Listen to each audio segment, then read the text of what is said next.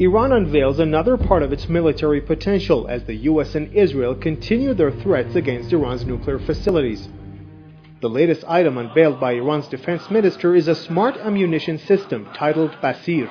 Its main objective is to enhance Iran's defense capability during military threats. The Basir is an intelligent laser targeting system that can be used in different types of munitions.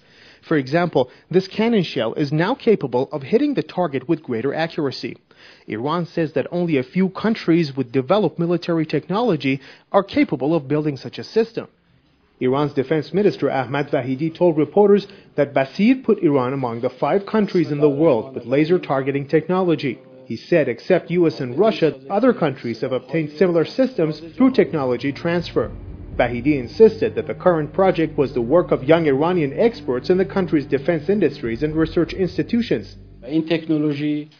This science and technology could be applied in gearing up all types of weapons, including artillery shells, rockets, and ballistic missiles.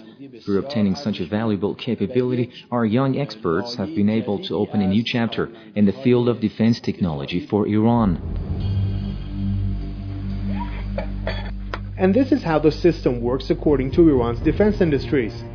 An artillery shell is fired.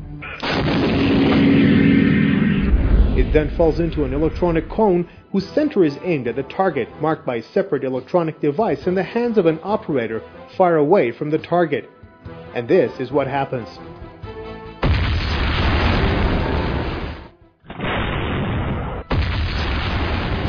The ammunitions generated by Basir could hit targets right in the spot.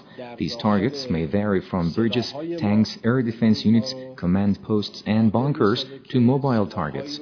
Today we are capable of producing high-tech weapons which have very limited producers in the world by applying modern electronic systems. Iran has taken wide strides in designing and manufacturing different types of light, semi-heavy, and heavy weapons in addition to military tools and equipment. The Islamic Republic launched an arms development program during the 1980-1988 Iraq-Iran War.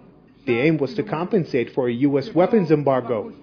Since 1992, Iran has produced its own tanks, armored personnel carriers, missiles, and fighter planes. Today, Iran is facing repeated military threats by Tel Aviv and Washington over its civilian nuclear program. Iran says that its response to any aggression would be decisive. Amir Mehdi Kazemi, Press TV, Tehran.